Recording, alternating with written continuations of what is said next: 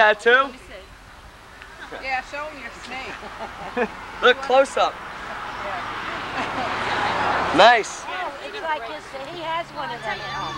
Who? Uh, you that, The helicopter? no, the snake. No.